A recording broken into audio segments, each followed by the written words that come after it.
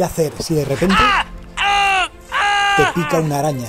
Pues si justo estás grabando es importante que la grabes para que sepan qué tipo de especie es. Normalmente la picadura de araña te dejará uno o dos puntitos rojos. Bueno, pues quita relojes o todo lo que lleves en la mano afectada. Lava la zona con agua y jabón. Si solo tienes agua, pues con agua. Cubre la picadura con apósitos fríos, pero no hagas un vendaje aplicando presión. Haz un vendaje para mantener el frío pero que quede suelto.